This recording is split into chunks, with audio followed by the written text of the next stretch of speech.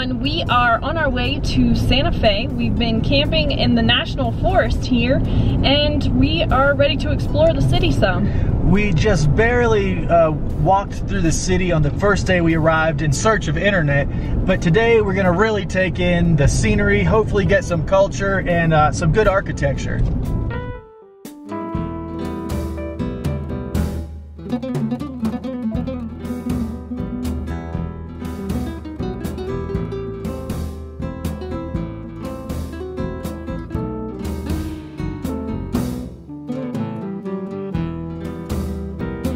So we made it to downtown Santa Fe and it is a busy day here. Yeah, the streets are very crowded and there's a lot to see and do. So we're excited to check out some of these shops.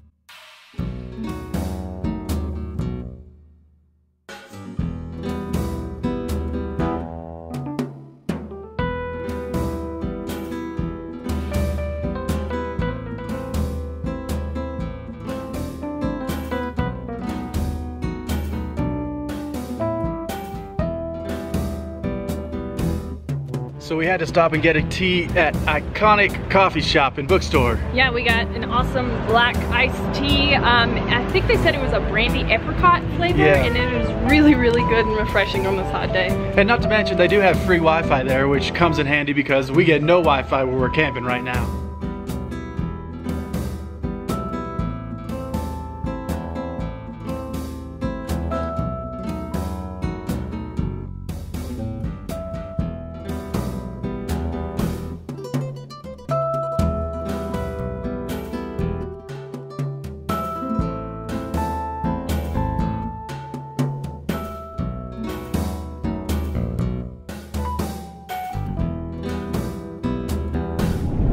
We just got done walking around downtown Santa Fe and we are tired and hungry. Uh, it was a little too expensive for our taste, but um, it was still fun to window shop. It was like uh, the level of Jackson Hole, Wyoming as far as how touristy and nice it was.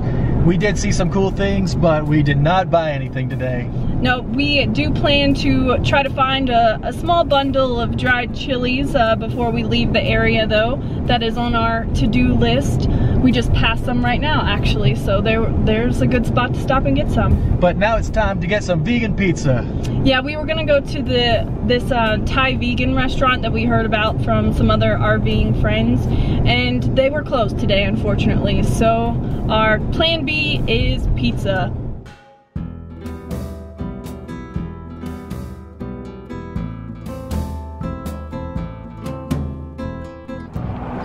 So we're gonna eat some lunch at Bumblebee, what is it called? Bumblebee's uh, Baja Grill. It was hard to find a place open on Sunday outside of downtown, but this one looks like it has some good healthy food. Yeah, pizza was a fail, Thai food was a fail, so maybe this will work out. It's definitely open, we hmm. see people here, so we'll tell you how it is.